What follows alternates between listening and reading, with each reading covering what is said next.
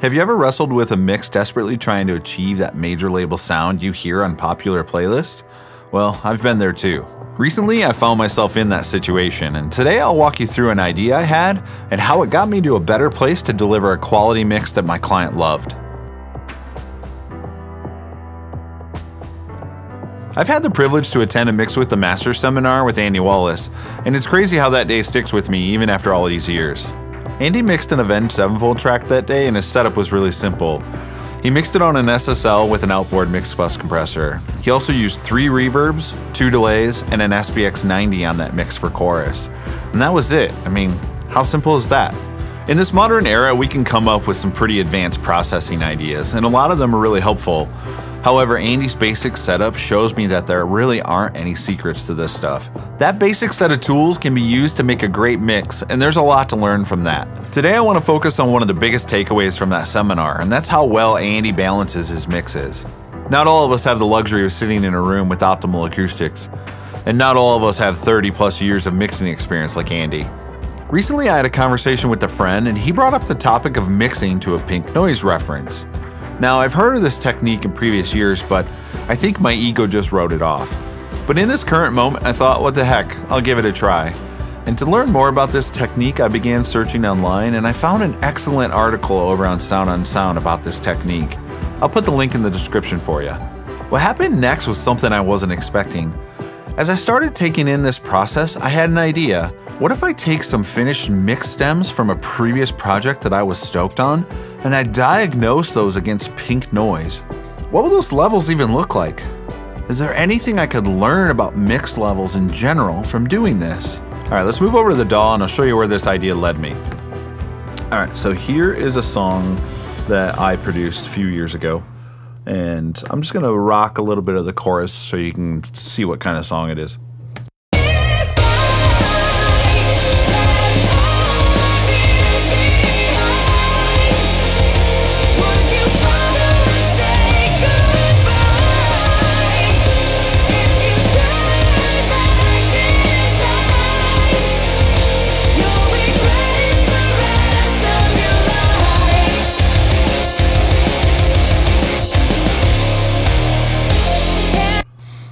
Right, there you go. So you can see it's kind of a Paramore-esque sort of female-fronted rock band. Um, let's dive in, and I'll show you what I did to reference uh, the levels of these stems against pink noise. So I've put uh, an instance of iZotope's Insight 2 across some of these stems that we're going to check out. And I've created a track. Uh, this track, I'm going to make it colorless real quick, just so you can see it easy. This is in my mix template all the time, and I use this signal generator uh, to calibrate compressors and those sort of things. Any signal chain that I have in my mix template that needs calibration, I use this track. So you can see there are various sends here. Uh, I'm sending out to an input, uh, and that input is just called SigGen for right now. What I have here towards the right are stereo audio tracks. and what we're going to do is route from that signal generator to these stereo audio tracks. Now, why are they stereo? Well, my mix template, everything comes down to a stereo group, like say the kick drum. If it's mono and I have three mono tracks, it all goes to a folder track named kick, and that folder track is stereo. So that your mileage may vary, but for me, I'm always referencing stereo. Now, let's dive in. So, from there, let's take a look at the drums. Let's try to find a kick drum.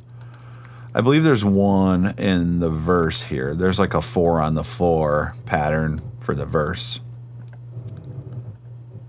Yeah. All right, my apologies. Let's mute everything except for the drum stem. We're going to focus on just trying to get the level of the kick drum by itself.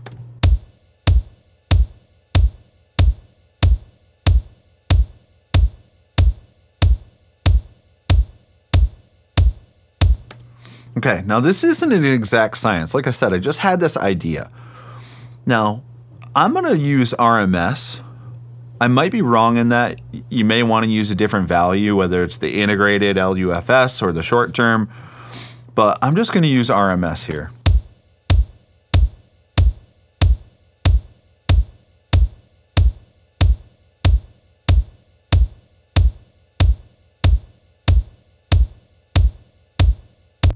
All right, so you can see on the RMS that that kick is about minus 13.3.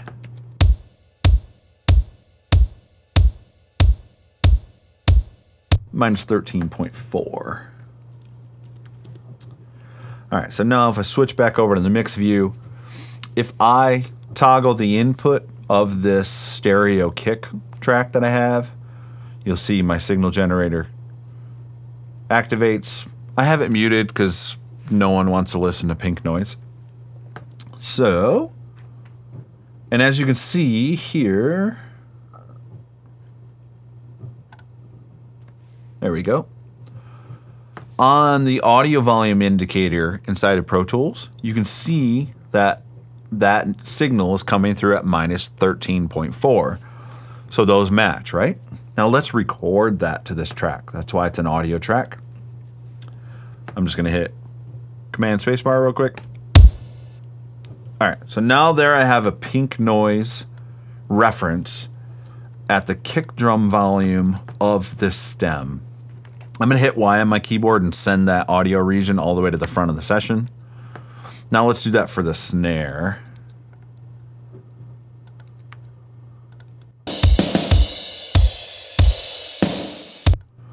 All right, there's a good snare that kind of sounds by himself. If it's not clean, uh, you know, if it's not just a solo snare, like if there's cymbals and stuff, I think that's all right. Again, this whole idea isn't prescriptive. It's just meant for reference, kind of get us in the ballpark. Now, obviously, there's some cymbals there, right?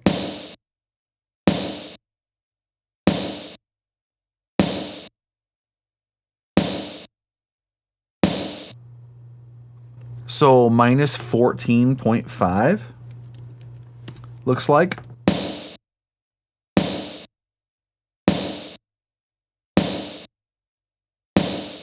All right, let's try it. I'm going to hit record over here. All right, now we've got our snare. Let's get rid of this stuff. Go back to the session here. I'm going to hit Y and send that snare all the way to the front. So now, if I, I am going to unmute these for a second and just loop. So if we had a loop, kick and snare, in pink noise, this is what it would sound like.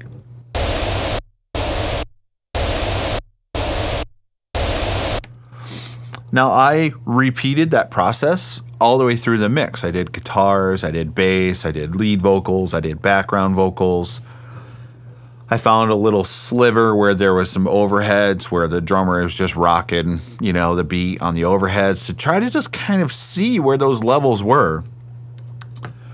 And then from there, you could do what that sound on sound article says. You basically pull an individual element up against that pink noise volume until it you barely start to hear it. Like say the kick drum for example. Where were we at? Uh, I lost it. Well, the snare's still up. I should have wrote it down. Was that minus 13 something? Minus 13.5, I think.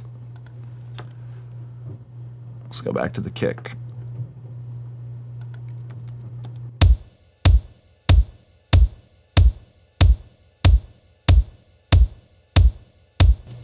So I'm going to write that down. Minus 13.4. And then the snare was minus 14.5.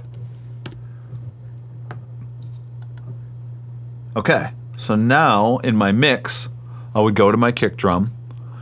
I would activate that pink noise track, and I would bring my kick drum till it barely started to reach, and and I could uh, and I could hear it over top of that pink noise. And then I would do that down the line, and all of a sudden, you know, once you get everything in, you're like, I found in that mix that I was working on, was like, dang, that balance feels pretty good. Well, of course, I still had a lot of mixing to do. That was just my rough balance with panning and volume.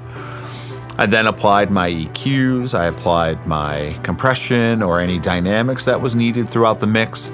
I applied my effects, And then from there, I just went through my process. You know, I printed a mix, listened to it in the various consumer devices that I have and that I like to reference my mixes on. And then I just repeated the process. But what I found was really interesting that this approach or this idea got me a little closer to a finished mix than I have experienced in recent months. And I thought that would be really fun and I thought I'd share that with you. So there you go. I found myself in a tricky spot and a friend steered me into this topic that made my brain get some exercise. The outcome was something I found pretty interesting.